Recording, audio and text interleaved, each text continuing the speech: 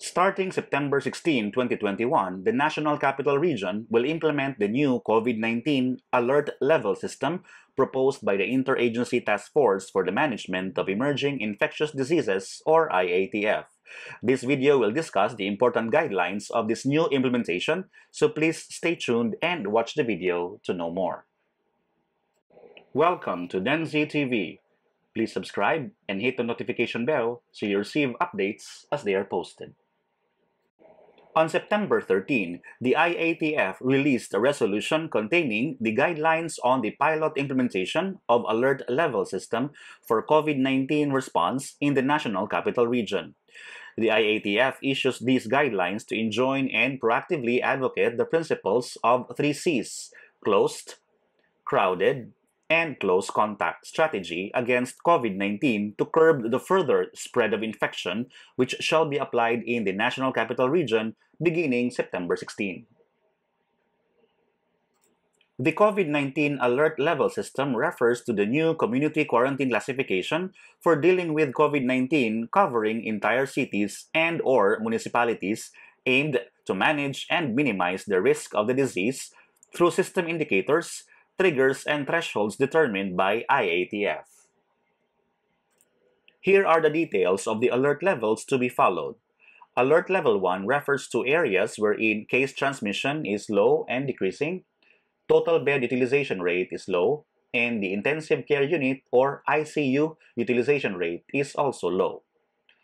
Alert Level 2 refers to areas wherein case transmission is low and decreasing, healthcare utilization is low, case counts are low, but total bed utilization rate is increasing as well as the ICU utilization rate.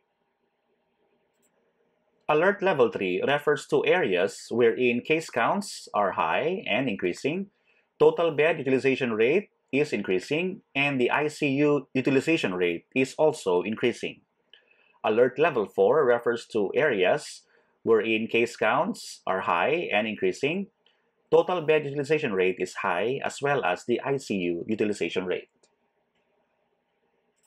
And the highest alert level, level 5, refers to areas wherein case counts are alarming and both the total bed and ICU utilization rates are critical. The general guidelines surrounding the alerts level system are the following. The Department of Health shall be the one to identify the alert level of the pilot area, and this area shall follow the protocols consistent with the declared alert level. For the duration of the pilot implementation, classification of the pilot area shall be done weekly unless otherwise specified. Close contacts, regardless of the vaccination status and possession of a negative COVID-19 test result of probable and confirmed COVID-19 cases, shall undergo 14 days of quarantine in accordance with the isolation and quarantine protocols set by the Department of Health. LGUs in pilot areas shall submit on a daily basis to the respective regional IATF such data as determined by the national government agencies based on the template provided for the IATF Subtechnical Working Group on Data Analytics. And lastly, MPHS or Minimum Public Health Standards shall be implemented at all times consistent with the DOH AO number 20210043 or the Omnibus Guidelines on the MPHS for the safe reopening of institutions. What are the restrictions associated with a specific alert level? Let's start with the guidelines for areas under Alert Level 5. Areas placed under Alert Level 5 shall observe the guidelines applicable to Enhanced Community Quarantine or ECQ as provided for under the IATF Omnibus Guidelines on the implementation of community quarantine in the Philippines. Meanwhile, Alert Level 4 is comparable to Modified Enhanced Community Quarantine or MECQ and the details of the restrictions will follow. In Alert Level 4, the following persons shall not be allowed outside of their respective residences. Persons below 18 years old, persons who are over 65 years of age, those with immunodeficiencies, comorbidities, or other health risks, and pregnant women, provided that they shall be allowed access to obtain essential goods and services or for work in permitted industries and offices. Other guidelines for Alert Level 4 include individual outdoor exercises shall be allowed for all ages, outdoor or alfresco dine-in services are allowed at 30% maximum seating capacity, and indoor dine-in services are allowed at 10% seating capacity. Personal care services such as barbershops, hair spa, nail spa, and beauty salons shall be allowed to operate at 30% maximum seating capacity if conducted outdoors, and at 10% if conducted indoors. In-person gatherings for Level 4 shall be allowed at a maximum of 30% for venue or seating capacity if conducted outdoors regardless of vaccination status.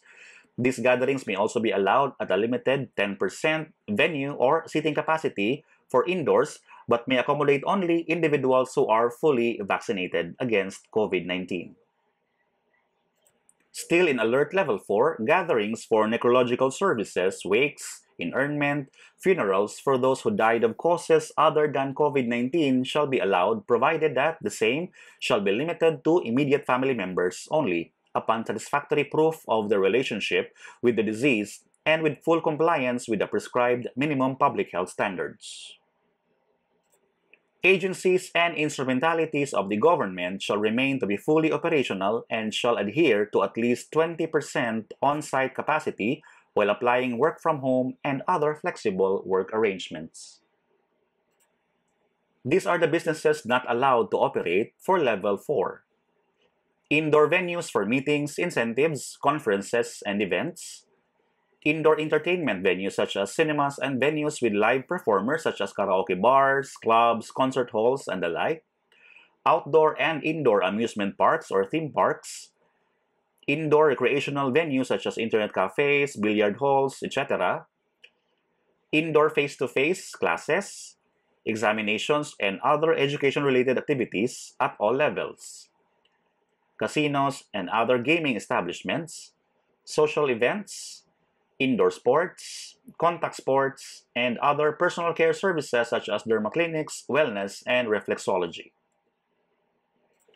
Let's proceed to Alert Level 3 guidelines. So, the movement of persons shall be allowed except for reasonable restrictions based on age and comorbidities as may be determined by the local government units, which should not be stricter as those prescribed under Alert Level 4 and subject to the oversight, monitoring, and evaluation of the respective regional IATF. Other Alert Level 3 guidelines, individual outdoor exercises shall also be allowed for all ages, and indoor dine-in services are allowed at 30% seating capacity. Personal care services are now allowed at 30% maximum seating capacity for Alert Level 3 areas. Religious gatherings are also allowed at 30% maximum seating capacity for Alert Level 3. Gatherings for necrological services are also allowed at 30% maximum. Government services are also fully operational at 30% on-site capacity. These are the businesses and activities allowed to operate at 30% maximum venue capacity for Alert Level 3. Let's proceed to alert level 2 restrictions. Same with level 3, it's up to the LGU to determine who should be allowed to go outside. At level 2, indoor dine-in services are now allowed at 50% seating capacity. In alert level 2, personal care services, religious gatherings, necrological services, and public service are allowed to operate at 50% maximum venue capacity and these activities and businesses are allowed to operate at 50% maximum venue capacity.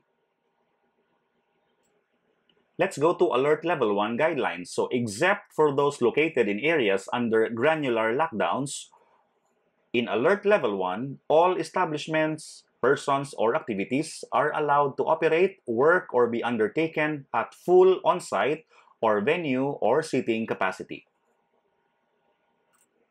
And here's the summary of the data discussed in this video. Thank you so much for watching. If you find the content of this channel valuable, remember to subscribe. Feel free to check out the other videos